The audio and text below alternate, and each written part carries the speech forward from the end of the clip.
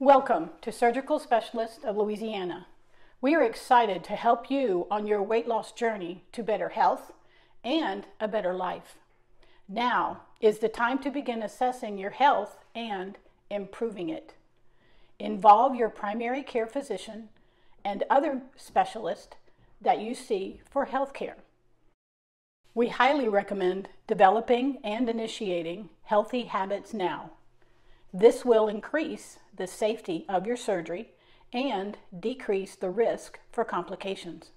These healthy habits include following a high protein and low carbohydrate diet, reducing the intake of fried, fatty, and fast foods, drinking plenty of water, increasing daily physical activity, taking a daily multivitamin with iron, cutting back on alcohol consumption, and smoking cessation. Following a healthy diet prior to surgery is important to facilitate some preoperative weight loss. We store fat around our organs, including our livers.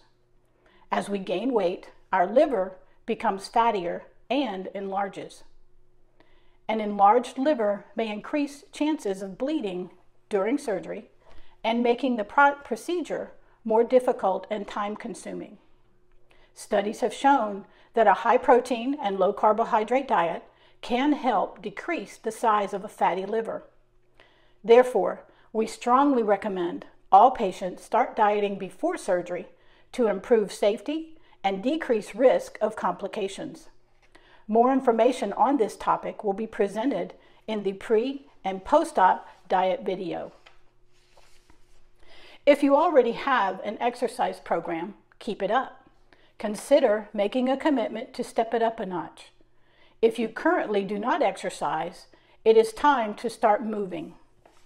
Prior to beginning an exercise program, you may want to ask your primary care physician if this is okay and at what level you may begin. Consider adding 10 minutes of extra movement to your daily routine and gradually increase to 30 minutes. You may even break it up into shorter sessions. Tobacco cessation is important for several reasons. Using tobacco prior to surgery can increase your risk for post-operative pneumonia and contribute to poor wound healing. Using tobacco products after surgery can increase your risk for develop, developing stomach ulcers. There are many tools to help you quit smoking, including prescription medications. Ask your surgeon or primary care provider for assistance.